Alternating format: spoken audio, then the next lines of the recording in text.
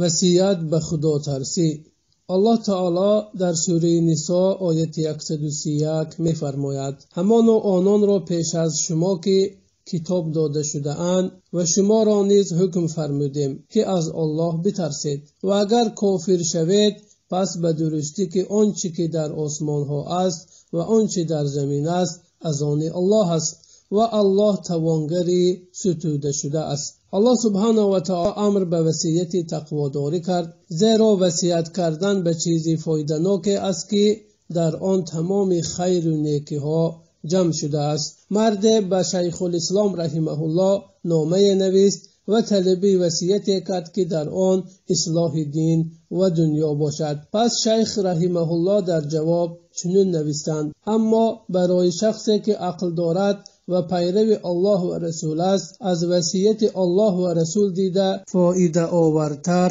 васияте надидам. Зеро аллоҳ субҳанаҳу ватаоло дар қуръон фармуд ҳамоно ононро пеш аз шумо ки китоб дода шудаанд ва шуморо низ ҳукм фармудем ки аз аллоҳ битарсед.